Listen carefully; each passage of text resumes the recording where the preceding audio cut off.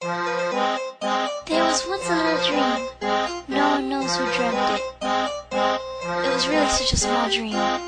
This made him think, I don't want to disappear. How can I make people dreamy? And he thought and had an idea. The first Alice was a gallant red one, wielding a sword in a hand in the wonderland, slicing down everything in her way. She was followed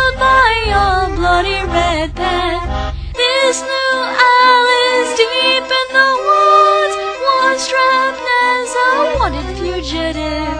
If it weren't for the red path that she made, no one would think that she even existed.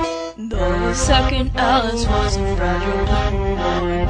He sang to the world in the wonderland, filling regions with so many false created words that were of a crazy blue. This new Alice was that of a rose. Was shot and killed by a madman. It left a flower blooming sadly red. The one who was loved was now forgotten. The third Alice was a little green one, very cute and dear in the wonderland. She turned people to her every beck and call. She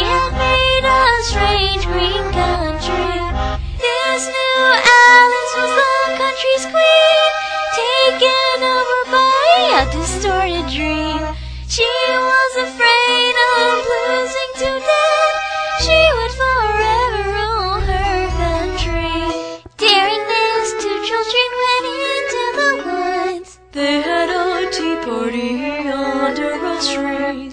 An invitation from the castle for them was the Drakkar of Hearts. The fourth Alice was two siblings.